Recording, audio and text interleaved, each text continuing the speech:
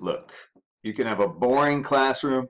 Oh, look, there's my map of the United States. It's an educational classroom. Or you could do something really cool, like this. But in order to have a green screen, you need to light it up right.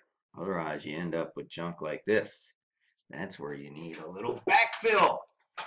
And it's not expensive. I'll show you how to do this on the cheap for sure. For sure. My name is Chuck Fresh. I'm an ESL teacher. Follow me along this journey of special green screen classrooms. You can't replace this. There's no way to do this unless you're actually sitting in a classroom. And you need to have good light and permission and Wi-Fi and all these things that most people don't have. And if you're at school, then you can't take advantage of teaching from your home in your skivvies. I mean, who doesn't want to do that? I'm wearing pants just in case. Or you could do something like this. Hi, I'm teaching from space. How cool is this? You can't do this if you have a map behind you because it's boring. So cool stuff like this you can do with a green screen. You can put yourself anywhere in the world. Look, I'm in Paris, in Gay Paris. Look how clean that looks. Now I'll show you my lighting here, what I have going on here. Me go back to my classroom. But basically, all I have is this. I have this big green thing. Now, people say you can use sheets. And yes, you could use sheets. You don't even have to use green. You could use blue, you could use red, but you have to use a color that you're not going to wear. The problem with using red is a lot of your facial features will be red or your lips. And anything that is the color of this will become invisible. And that gets kind of weird. Like if I take the red out of this, I start to disappear. And you can see through my red shirt. So that's why people have gone with green over time because not a lot of people wear green. Of course, green comes back with these fashion never mind, I'm starting here. So let's talk about lighting for a second. I'll show you my lighting here. Can I do this? I think I can. Let me turn this off. Boop. So this is what it really looks like. First of all, I'll show you, this is just a green piece of fabric and it's held on stands. I have little clips here. I do a radio show and podcast and all that stuff. So and it's got to be actually bigger than you. It's got to be able to fit in the whole camera, and you need some side to side, especially if you're standing up and teaching. But the most important thing about your background is you shouldn't be able to see through it. It should be fairly opaque. You can see a little bit of sun here when the sun starts to kick through, but for the most part, it's pretty straight up. You can't see through it. And the other important thing you need to do is make sure there's not a lot of wrinkles in it. Because if you have wrinkles and folds, then you're going to get different colors. Like I have a few here. I need to tighten this up a little bit. So make sure it's, uh, I have this steamer thing, and I'll put a link in the comments below. It's a cheap steamer we bought on Amazon. And this thing, when it came from the factory, it was folded, it had creases all over it, and those made darker areas, which showed up and kind of like look funny in the uh, green screen.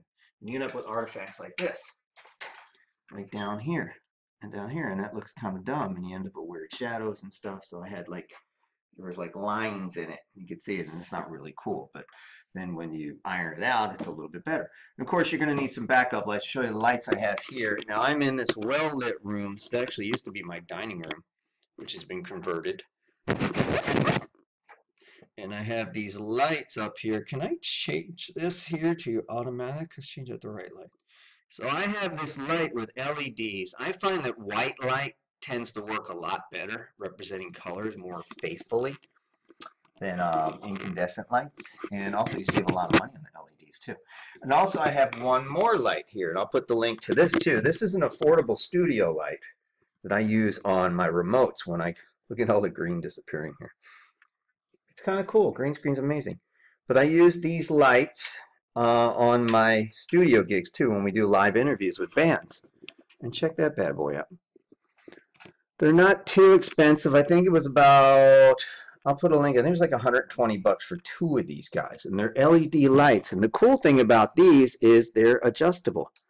You can turn them down.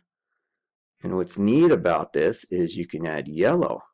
So if you like the incandescent or if it works better with your makeup or not, you could turn yellow or you can combine yellow and white to get exactly the color you want.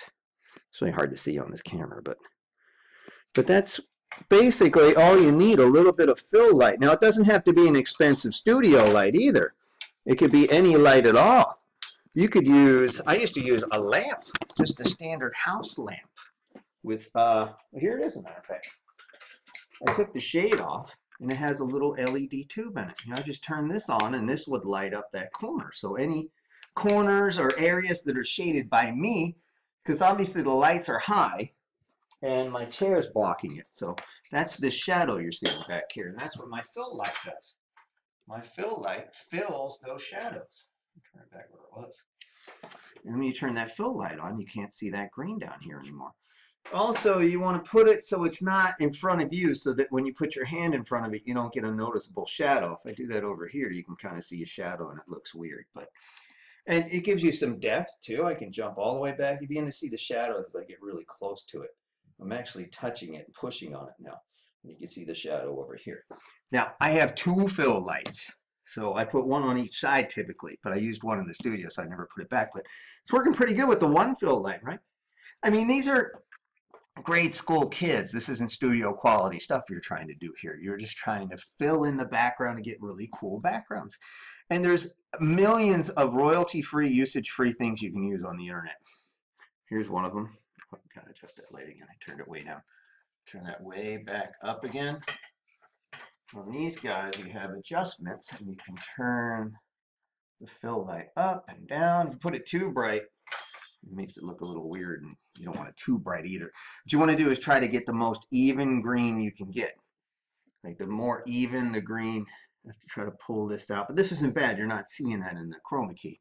They call it chroma key. Your green screen is the same thing, but you're not seeing that difference in there. But I mean, your objective is try to get it as flat and as even, as uniformly green as possible. Now, there's a lot more deeper things. You're supposed to have an overhead light coming on you, and the top of your head's supposed to shine. You're supposed to use three lights, and there's a lot of videos for that, but let's keep this simple. So all we're trying to do is get a really cool backdrop for our classroom. I've got a studio I use for one of my podcasts, and it looks like I'm in a studio. And you can really, you can match the light up by just tweaking your lights. If you have a dimmer, that's even better. If you have daylight, I have some daylight coming in this room. Use your daylight too, because that'll give you a nice little fill. And remember, light changes throughout the day. If you're teaching in the morning, you'll see the lights start to come in and it'll start to change this thing. So you may need to adjust your backlight because remember, you need to keep that green uniform. And as the sunlight comes in, depending on where you are, you could end up with weird shadows, and the shadows are going to show up because it's a different shade of green. My room need to be uniform, right? But an endless supply of classrooms you can download and use. This one actually was from my vendors. They used this in one of their emails, and I borrowed that one too. So, and really cool stuff. It's just really unbelievable what you can do. I use the ManyCam, but there's other ones out there. ManyCam tends to be a CPU hog on some older computers. And this one now it's punching about 26%. And uh, I'm only shooting at four. That's the other thing too I want to tell you about is um, resolution. I uh, taught at 240 this morning as a test to see if my students can tell. If you look at this bottom window here, uh, it's hardly noticeable because if it's smaller, you can use a lower resolution. If it's a bigger picture, if you were doing this full screen over here, then you'd want to use something a little bit bigger. But um, 480 is good. You don't need 720. 720 will really kick your uh, CPU in a high gear, and you can even do 1080. But then um, the widescreen formats, oops, they show up a little weird in your vendor's thing. You don't see the top and the bottom. That's a little bizarre, and you can see my CPU is dragging. So 480, even 240 sometimes. 480 seems to work best. I don't have any problem with that with the green screen, without the green screen. Um, some other really cool things too. I'll show you. I'll do another video. I've been doing this lately, and the kids love it. I'll fill my screen in when I come in. I'll use the fill tool, and I'll go like this. Hello, Bow Bow. And they say something, and I'll go a little bit more. How are you? And if they say they're angry, I fill it up again. So there's all kinds of really neat things you could do. And you don't need the green screen for this, but the green screen, really, the, the benefit is the backgrounds, and it just separates you, it sets you apart from everybody else who's doing what you do. Chuck Fresh, please like, subscribe, comment below if you have any ideas or any tips about green screen or something that you're using, or if you found a sheet at Walmart that worked great, that's awesome. You might need to put two or something black behind it so you get the uniform green. Remember, the uniformity is the most important thing. You don't want any differences in the shadow or the grayness because uh, your chroma key is going to pick that up. Chuck Fresh, ESL teacher. Peace out. Yeah.